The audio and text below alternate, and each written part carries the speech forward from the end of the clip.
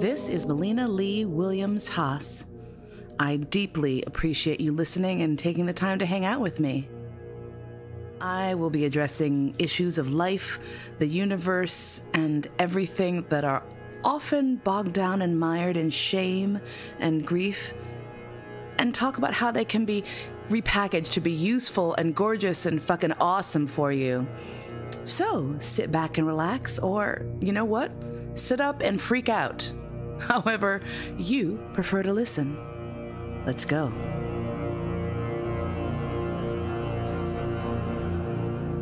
I started and stopped this episode five or six times, and it fooled me. I had the idea because people frequently ask me about what it was like to be an actor as a kid. And I thought, oh, yeah, I'll tell about when I was between the ages of probably about six and 12. And I did a lot of commercial work, a lot of film and TV work. I'll talk about that. That'll be kind of cool. But it kept dragging up less sunny and delightful memories. And so I kept putting it off and I kept thinking, okay, I should do something else. And then nothing else presented itself.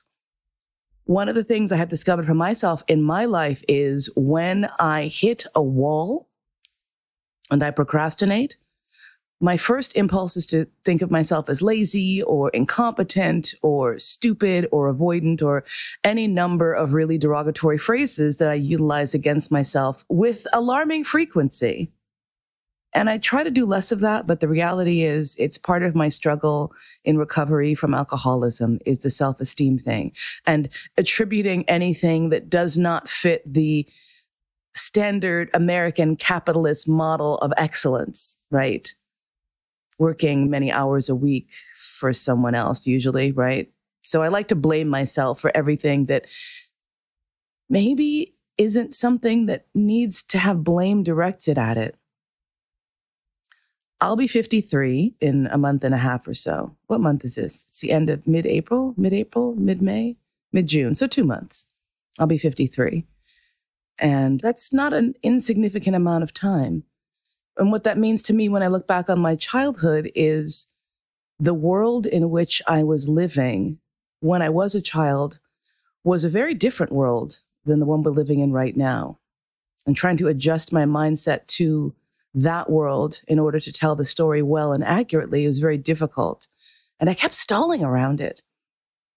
And I realized that part of the reason I was stalling around it is that I like to share stories that have a positive outcome. I like to share stories where the dream comes true or by perseverance, you see your way through, or even if you don't get things exactly right, you can see how it benefited you. You can see where you grew from it. You can see where things are better. And this is a situation where it's harder for me to see that. I was born June 20th, 1969 to, to very young parents. And when I was probably about three or four years old, my father gave me a boxed set of the Chronicles of Narnia as a growing up gift. It was something that maybe, you know, they could read to me at bedtime, stuff like that the day after Christmas, I came back to my parents and I said, okay, I've read this first one. Can I have the next book, please? And they laughed and said, okay, well, first of all, she's, you know, three and a half. There's not reading. And also, there's no way you read a book in a day. And so I proceeded to tell my mom exactly what the story of the book was. And she hadn't read it. So she was like, okay, maybe she's making up a thing about talking lions and children climbing into closets and bad witches and talking animals, but I'll see you when her dad gets home because he's read it. Dad got home, story was repeated. He's a little stunned because he's like, well, that's, that is the book, but she can read that fast. So they gave me the next book. And then my father and I talked about it. And they were a little surprised because I guess that's pretty precocious. A couple weeks later, my mom had taken me to work with her and I was sitting at a little stool and a tiny table next to her desk. She worked for a design firm. They were called J Rod Studios. They were down, I think they were actually in the Flatiron building for a short period of time. I remember going into those offices and they were really cool looking. Anyway, I had a copy of the New York Times, which was at the time about as large as I was. And I was reading it and one of my mom's coworkers came by and said, Oh, look how cute. She thinks she can read the paper. And my mom said, Well, actually, yeah, she can read. And they asked me to read a little bit from the paper, and I did. And they were shocked and stunned. And then they were like, Well, read this, read that. So, of course, me being a little baby attention hoe was like, Of course, I will read all of the things. By this time, there was a little crowd gathered around my mom's desk, and they were like, What are you going to do with this kid? She's like, I have no idea, because, of course, who knew what to do with this kid? And one of my mom's managers came over and was like, What's going on here? And I was reading an article about President Nixon and a spot of trouble that he'd gotten himself into. I was this, I don't, I think this was before Watergate. Yeah, it was definitely before Watergate because I think that was later. But there was something he had done and people were very upset. And so I read a piece of the article and my mom's boss was standing there with his mouth open and turned to my mom and said, Okay, well, she can read the words, but what's her, I mean, does she know what she's saying? Because, you know, white men can't ever let you be great. And my mom said, Okay, Mo, what does this mean? And I look up and I said, It means that President Nixon is an idiot and no one should trust him. And the entire office like lost their minds and were just like, Oh my God, she's amazing. Yeah. And one of my co my mom's coworkers, this guy named Tony, who was delightful and amazing and wonderful. And the first gay grown up that I had coming up as a friend, one of my first grown up friends. And he said to my mom, he's like, You have to get her in front of a camera. This kid's amazing. And my mom's like, Well, I, I don't even know how to do that. I don't know if she would want to do that. And I'm like, I want to do it. I want to be famous. I want to be an actor. How can I do it? And he said, Well, I actually have a friend who's an agent, Norma Belsky. Let me get you guys a meeting with her. And so we did. And I went to Norma Belsky's office. I believe it was 50, 53rd, maybe. And had a meeting with her. And she was like, You're hired, kid. And she started sending me out on calls immediately. And I was so excited because this would been my dream for all of, you know, like maybe a year and a half, I will explain that my father took us to see the revival of the original cast of the musical Hair, which is running on Broadway. Appropriate for a toddler, two, three year old? Probably not. However, I will never forget standing on my seat, jumping up and down and clapping as my mom frantically tried to keep me from tumbling backwards as the cast came out at the end and they're naked, covered in Day-Glo paint and singing Let the Sunshine In and running around the audience. And there was such a joy and such a freedom. And when we were leaving the theater, I told my parents, I'm going to do that. I'm going to be an actor. And I was so excited that now I got to do it right now. I didn't even have to wait till I was a grown up because all the shit that they tell you that's going to be awesome in your life, they also tell you you have to wait till you're grown up to do it. And I was like, well, this I can start doing now. They need kids as actors. So I'm going to do this. And I did. And I started going on auditions very quickly and I started landing jobs pretty quickly as well. One of the first jobs that I remember getting was a commercial for Mrs. Paul's fish sticks. And I love fish sticks. So I was very excited. I was like, I get to eat fish sticks all day and talk about them. Well, lesson number one in doing commercial work any commercial that involves food is going to quickly become a dystopian nightmare for the actors involved. And the reason is food in the wild is not perfect. Food in the wild has irregular clumps on it. Food in the wild is unevenly heated or weird or doesn't glisten properly in the lights or melts or falls apart. And that is not acceptable for the commercial palate. So food for commercials has its own stylist.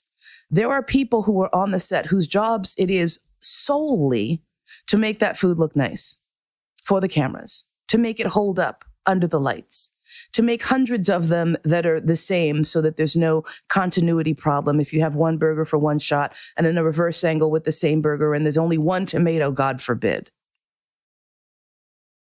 The problem is, while their job is to make the food look good, that has nothing to do with the palatability of the food. Because the food that you're going to be eating is probably not going to be the food that they're preparing because they are doing all manner of shit to that food. Okay.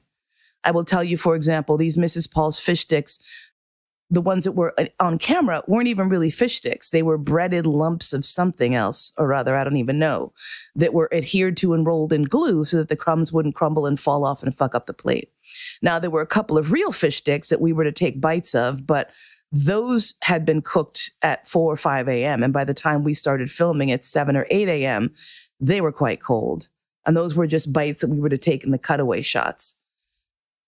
Filming a commercial is a grueling process. And on average, it will take you an entire day to shoot what is 15 to 30 seconds of footage.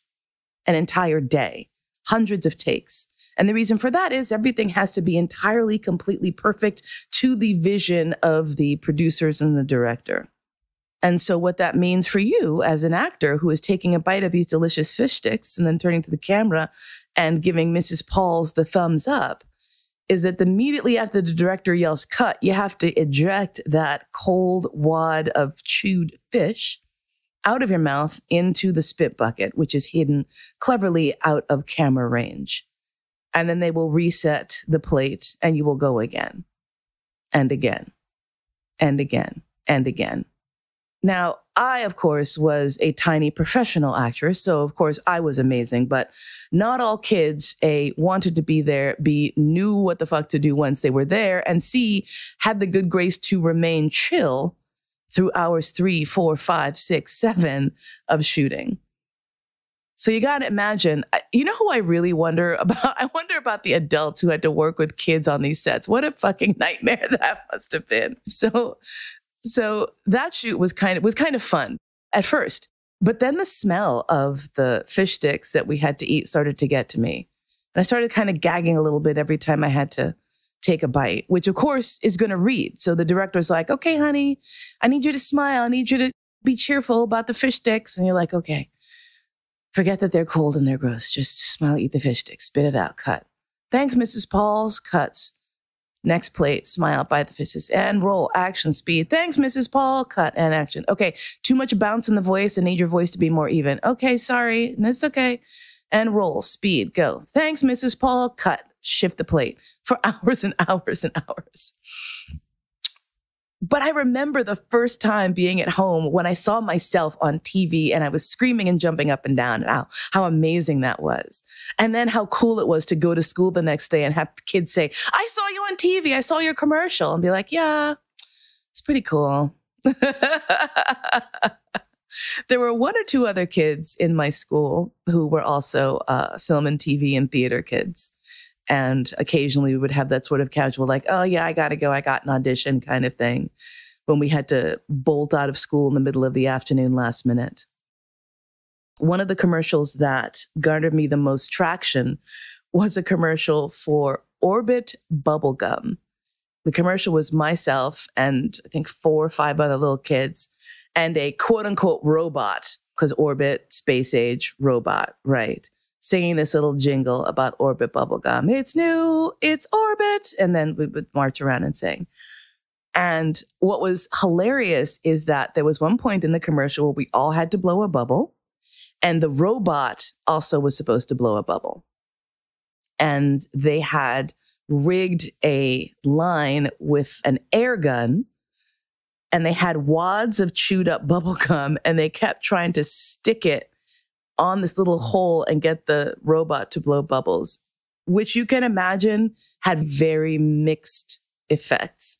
And it constantly wasn't working and it wasn't working and it wasn't working. And I finally said to my mom, they should just put a balloon in there. No one would see it. And they should know. My mom's like, you should tell the director that. And I said to the director, why don't you use a balloon instead of bubble gum? You could get a pink balloon and just blow it up that way. And the director looked at me as though I had three heads and turned to one of the crew and was like, get a fucking balloon.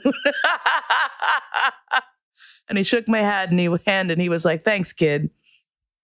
And so they got a balloon and they worked it out with a cut so that you couldn't really see the bubble starting and see that it was already existing uh, as a balloon. That Orbit bubblegum commercial was, I think it might have been one of the first national level commercials that I did. And I'll explain the system. Now, I don't know, the system may have changed in the intervening four, five decades, but when I was a kid, there were commercials that were shot for local, regional, and then national Local meant that it would only be shown in your city or your town, like a little small car dealership, etc. You would see those local commercials. So, for example, if you grew up in New York, Crazy Eddie would be an example of a local commercial because Crazy Eddie stores were only in New York, I believe. New York, uh, in the boroughs, I think maybe.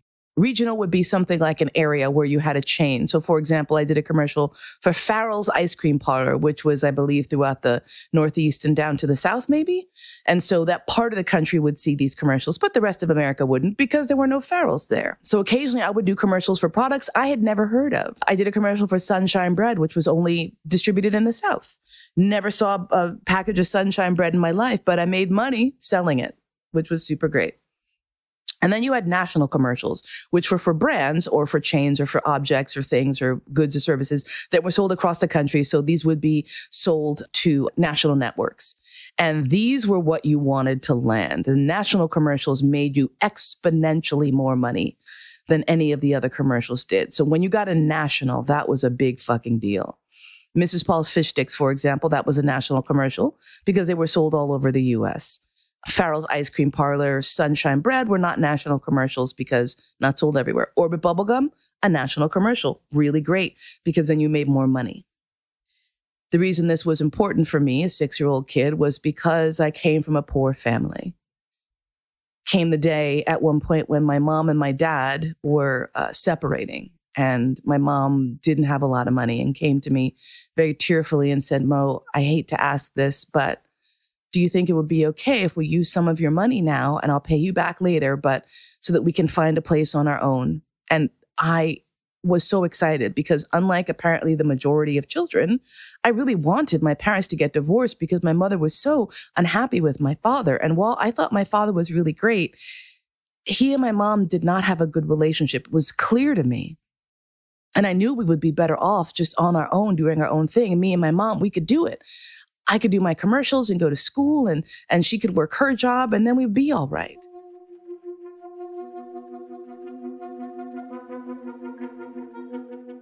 My producer, Cody Crab, is a fucking rock star. Okay.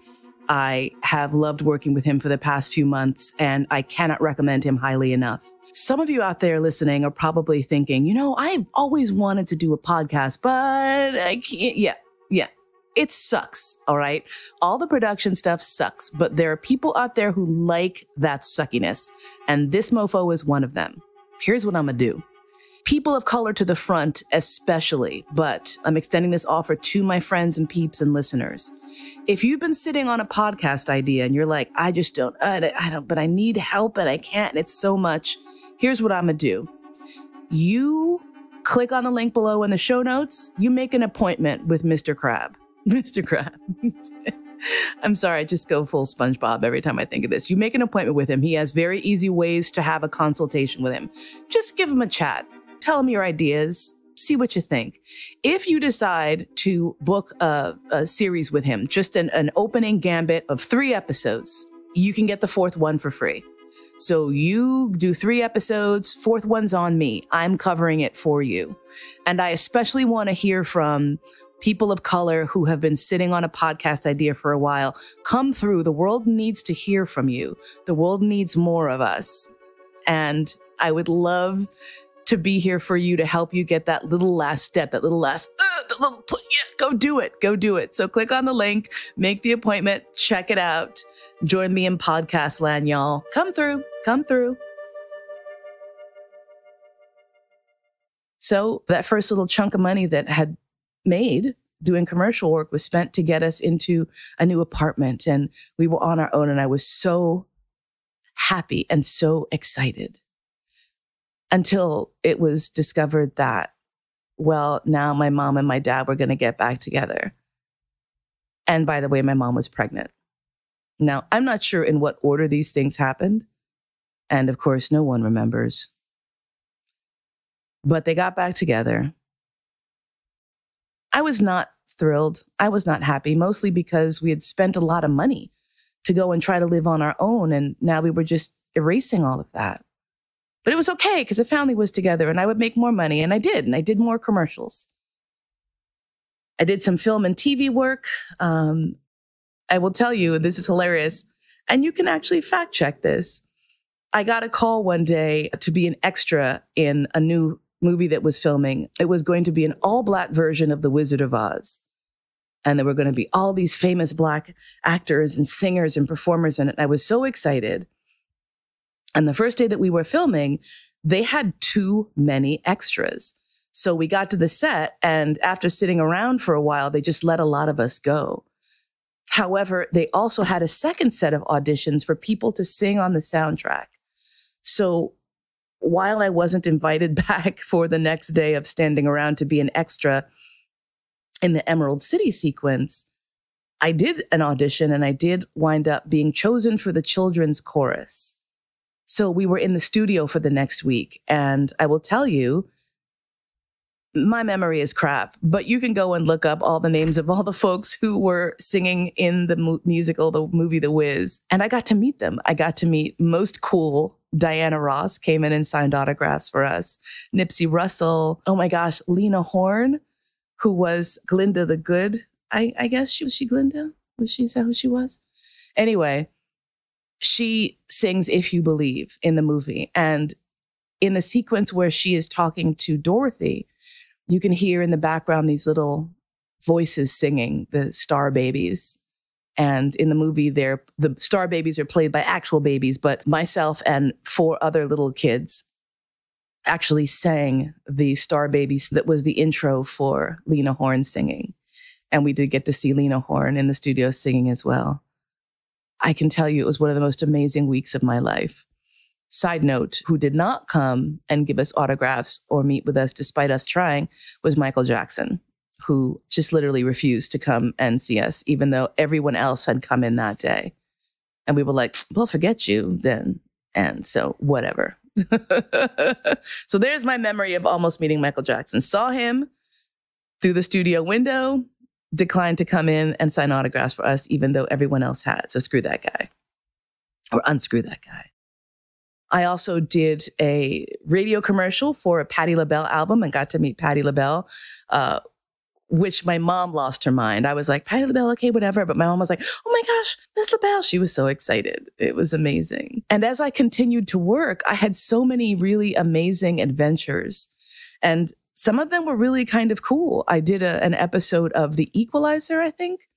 And I can't remember the name of the actor who was in that. Edward Richard, something, some British guy. But this episode was shot in the Museum of Natural History.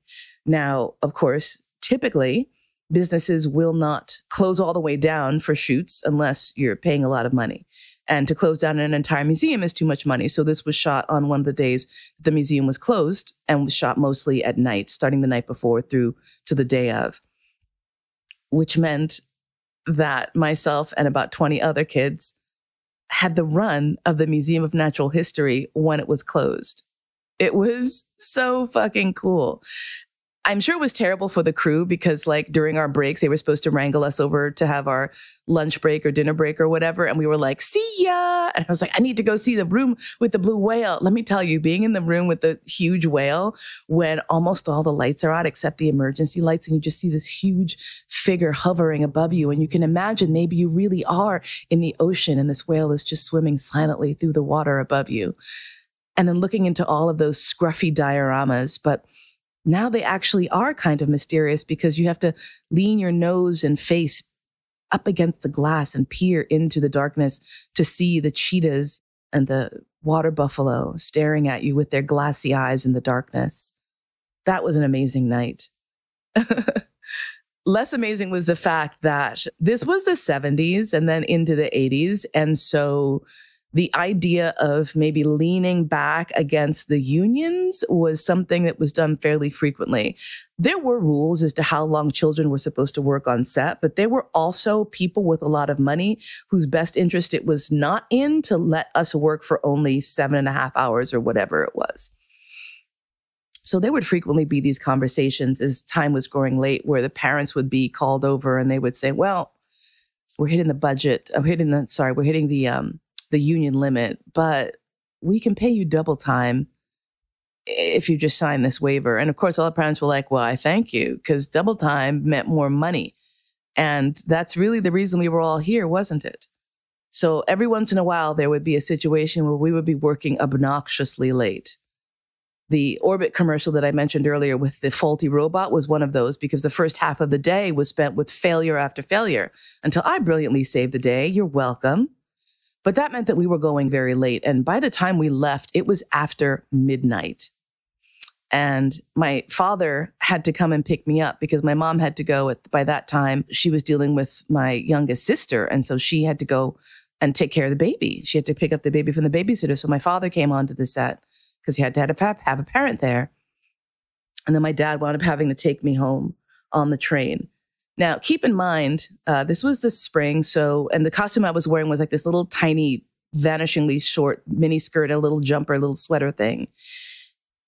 But because I had just come off of a commercial set, I had a face full of makeup on, which becomes blindingly obvious when you are out of camera lights, right? And so my dad was taking me home at maybe like 12:30, 1 a.m. And here I am, a little kid wearing a mini skirt and this little crop top, full face of makeup, hair did, everything like that on the train in the middle of the night. And I'll never forget looking up at my dad, who was oblivious, reading his little book or whatever, and saw these three women staring at me, staring at my dad, looking back and forth and whispering among themselves. And here's the thing I'm a New York kid, so I'm aware that bad shit happens to kids. And I'm aware what, th- what this must look like. And I immediately am like, oh no. They think my dad is some sort of, oh no. So I immediately started talking really loudly about the commercial. I was like, oh, dad, I'm so glad we're finally going home after shooting for so many hours. He's like, yeah, that was a long time. And so we had this conversation. And I think eventually the ladies sort of backed down when I kind of included them in the conversation. I was like, I'm an actor. I just did a commercial. And they were like, oh, you did? Which probably didn't seem much like a cover story because then we had a whole conversation about it. And I remember thinking, whoo, I wonder what would have happened if they'd gotten off the train and called the police on my dad.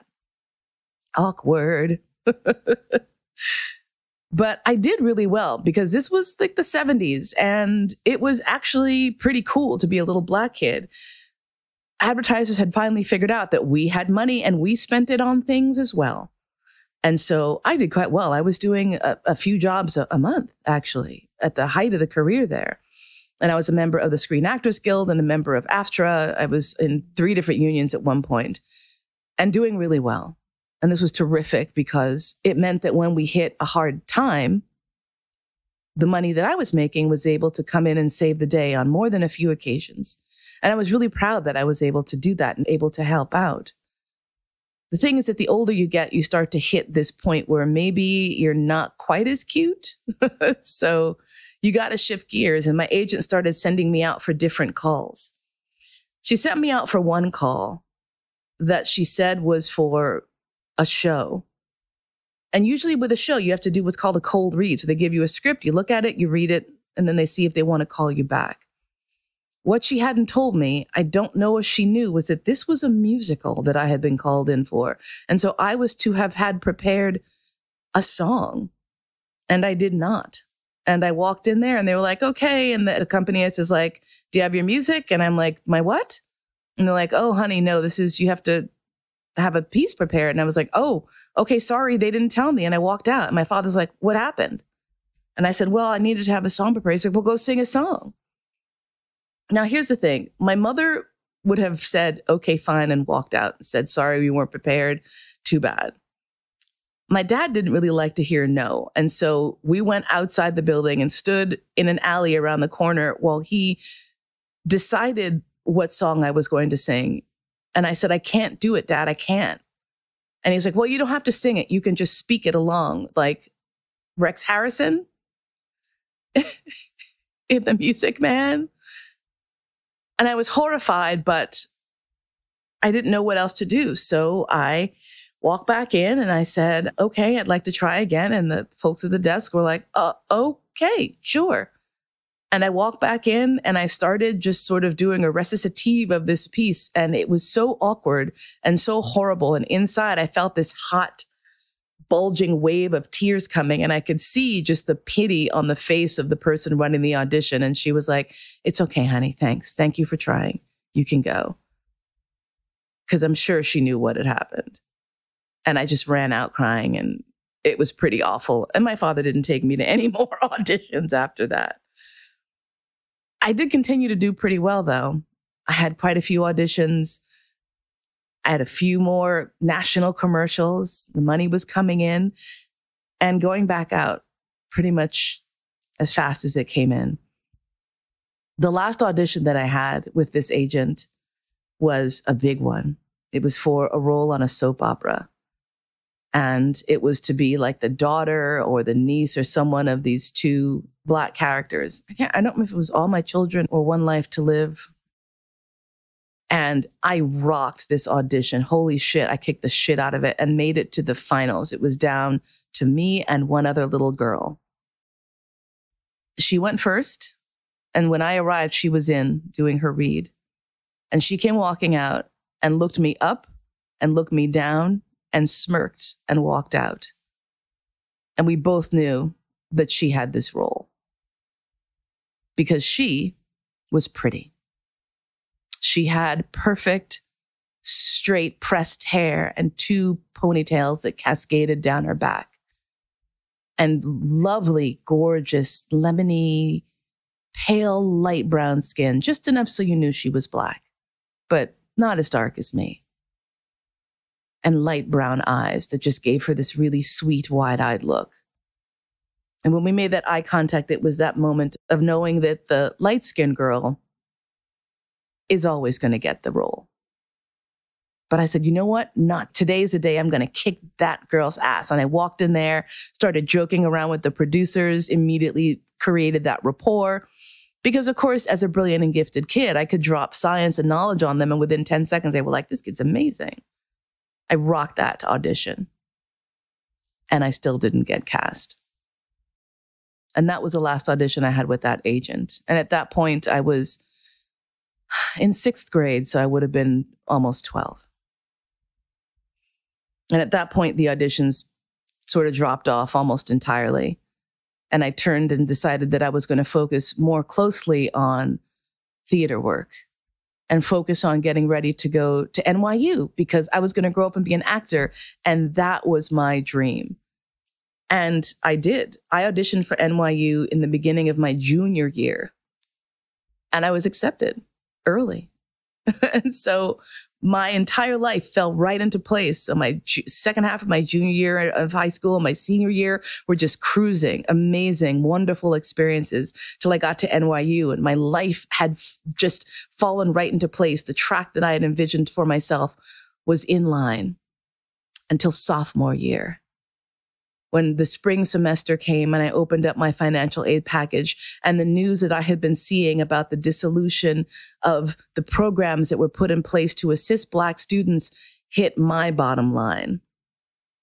The affirmative action cuts that Reagan had implemented meant that the three scholarships that I was receiving that enabled me to afford NYU, which was expensive, had been cut. I ran to the financial aid office in a panic and they said, yeah, this impacts a lot of people and we're completely out of emergency funds. We have no way to help you. When I stood in front of the financial aid office, too empty and stunned, even to cry. Because I realized that despite the fact that I was in the top 0.5% of students in the country in terms of my SAT scores and my grades and my IQ, none of that mattered because I was poor and I was black and I simply did not deserve to have a free education handed to me. Who did I think I was? And I told my mom and she said, well, God will provide. You'll see, it'll be okay. And then I sat and I thought to myself and I said, if even half of the money that I made doing these commercials had been set aside for me, I would have been okay there's a very strange bitterness that comes from a loss that is not the fault of an evil person. My parents didn't squander this money on drugs or alcohol or gambling. They were struggling to survive. And yet I was so angry and so disappointed and had no place to put that anger and disappointment. Sure, the government, yes, but it was rough. I still struggle with that. I still have so many amazing memories of being a kid on these sets and meeting celebrities and then realizing that all of that still didn't feed my dream, ultimately. I did land on my feet. I sure did. At the time I was volunteering for the Shakespeare Festival, and when I went and told my boss what had happened, she spoke to Joe Papp and made a job for me, and I wound up working full time there for the next few years. And it was as good a job as one can want for a day job if you're an actor, right? The kid I was was amazing and resilient and brilliant and necessary. And part of me is that kid still working so hard to please other people. And that's okay. And part of me still carries a bit of resentment and sadness, and that is also okay. It's very hard to feel like I'm entitled to my emotions, especially the ones that are difficult or not pretty, but I am. And I'm so grateful for that history and for those stories. And I'm also disappointed and sad that I wasn't able to reap the benefits of the work that I did in the way that I wanted to. And that's all right. Thank you for listening. I love you. Please be kind to yourself, please. You've been listening to All That and Mo. Thanks so much for spending your precious, precious time with me today. My podcast is produced by Cody Crabb, theme music by Georg Friedrich Haas, as performed by Marcus Weiss. And I look forward to spending time with you again really soon.